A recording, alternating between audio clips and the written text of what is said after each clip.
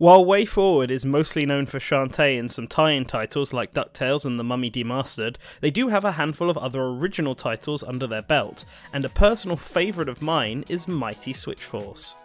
Originally launching as a download for the Nintendo 3DS, the game was well received and has since gained a sequel, remake, and two spin offs. Now, WayForward brings nearly the entire collection to the Nintendo Switch, and upon getting the chance to play an early review copy, I was enlightened on an aspect of the title I hadn't thought of before.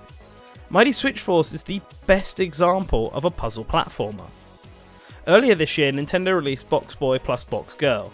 As a fan of the series already, I enjoyed it, especially with a friend, but after talking with newcomers, I found that it didn't quite hook that many people.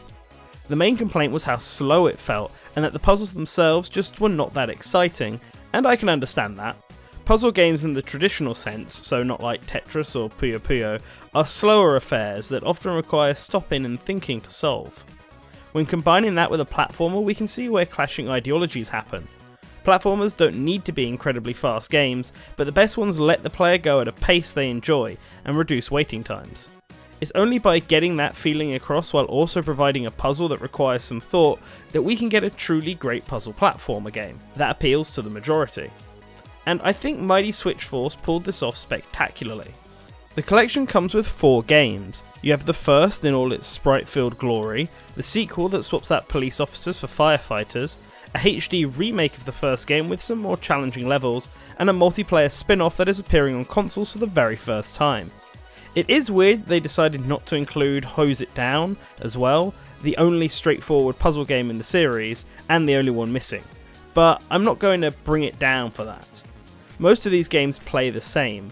The original and Hyperdrive are basically identical outside of the latter's graphics and hyper mode, while Academy uses the same gameplay style as the original but has a zoomed out camera where you can see the whole level. This is no doubt due to the addition of multiplayer, which sees everyone working together to get the 5 prisoners in record time, or the versus mode, where everyone competes with each other. This zoomed out view does allow for some new gimmicks like Mario Bros style screen warping, but I prefer the original's camera. Then you have the second game. It is the same gameplay feel, but your gun is replaced by a hose, which changes up how some puzzles are handled.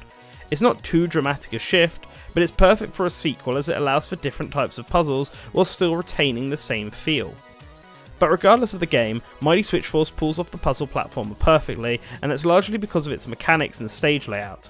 Stages are designed almost like a Mega Man game, but much shorter, and the mechanics are directly tied to the gun, which can be fired while on the move, and the platforms themselves. Swapping the platforms on and off at the tap of a button gives the player full control to find their path to the five prisoners and make it to the end of the stage. What these two mechanics accomplish is the ability for the player to never really stop moving. The game encourages speedruns, with a time to beat on every level, and some stages can be solved without stopping. If you can think on the fly and solve the puzzles quickly, you can rush through all the levels.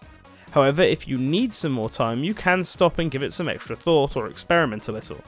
The pace and flow are with the player, and that's what matters. Add onto that some clever level design which can add to the puzzles in various ways, and you have an excellent puzzle platformer. If you haven't played any of the Mighty Switch Force games, or you've only played one of them, then I would recommend picking up this collection. It's a fantastic set of puzzle platforms that any fan of either genre will enjoy. I want to give a special thanks to WayForward for the early copy, and all of you for checking out my review. On screen now are all of the lovely patrons, if you want to find out how you can support us, then check out our Patreon. A link to it is below.